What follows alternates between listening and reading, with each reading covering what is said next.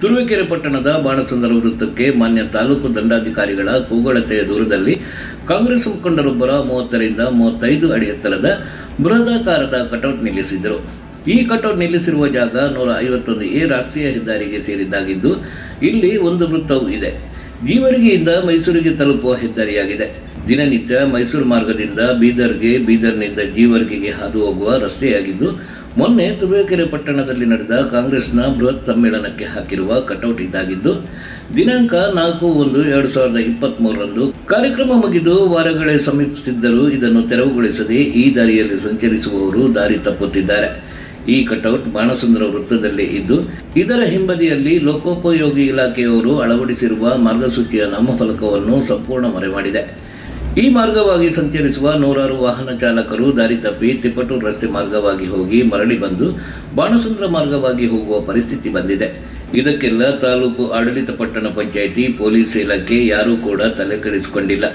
ಅದರಲ್ಲೂ cutout banner ಬೋರ್ಡ್ಗಳ ಅಳವಡಿಕೆಗೆ ಪರವಾನಗಿ ನೀಡುವ ಪಟ್ಟಣ ಪಂಚಾಯಿತಿಯ ದಿವ್ಯ ನಿರ್ಲಕ್ಷ್ಯ ಎದ್ದು ಕಾಣುತ್ತಿದೆ.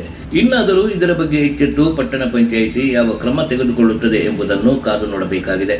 ವರದಿ ಸುರೇಶ್ ಬಾಬು.